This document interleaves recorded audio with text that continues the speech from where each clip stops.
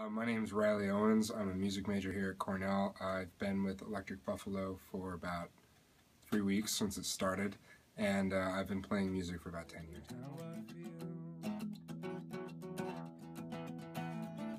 And so it's been uh, kind of throwing me to the wolves and seeing how I can, you know, make everything happen. Um, and becoming efficient, it's kind of honing my recording skills, and it's also giving me a great outlet get my music out there, which is something I really don't have. Um, well, hadn't had until now.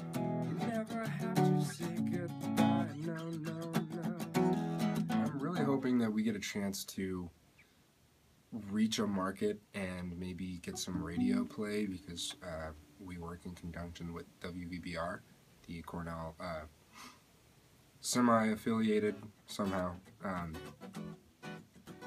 radio station. Sorry, forgot the word for it. Um, and so I'd like to, to see kind of a, a greater